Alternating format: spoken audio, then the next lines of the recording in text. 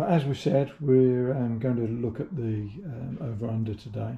Now, this is one that I just imported from Turkey, only cleared customs a couple of days ago. Um, it's uh, got to go off to be proof tested in Birmingham, UK. Um, but that will be done. It's a bank holiday at the moment in the UK, a holiday for the King's coronation. So I'll be taking it up to Birmingham after the festivities are finished. The gun is um, from Barathum in Turkey. Um, I'm very pleased with the quality of it actually, it's really nice gun. Um,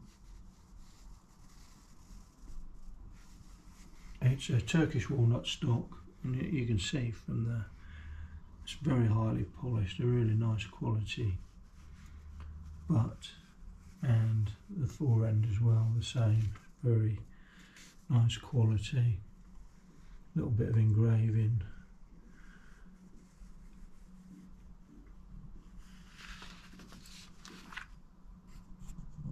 the gun comes with um, obviously two chokes in the gun.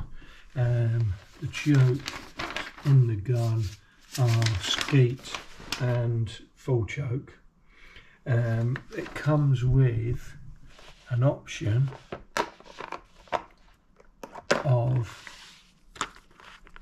two other chokes and those chokes are improved cylinder and modified cylinder, improved modified, um, and also the tool for changing the chokes.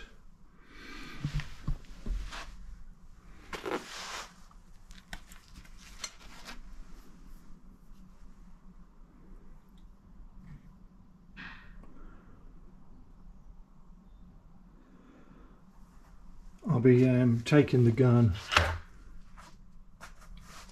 to the local gun club to try some clay pigeon shooting once I've um, had it tested and um, I'll do a video of the gun in action when I do test it. Thanks very much for watching. Um, we'll do, like I said, a more in-depth um, look at the gun and see it in action quite soon. If you'd like to um, subscribe and like the video and ring that bell and you'll see when we upload the next video of this gun. Thank you and see you again.